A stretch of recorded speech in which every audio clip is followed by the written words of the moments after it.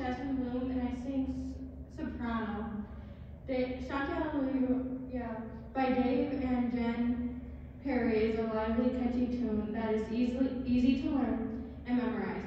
It is written in an ABA form. The B section is a contract to the A section. Singing in French is very difficult, but we took each on a challenge with very little complaining. This song translates as singing Alleluia. Singing a new song, you can sing a joyful song, joyous song.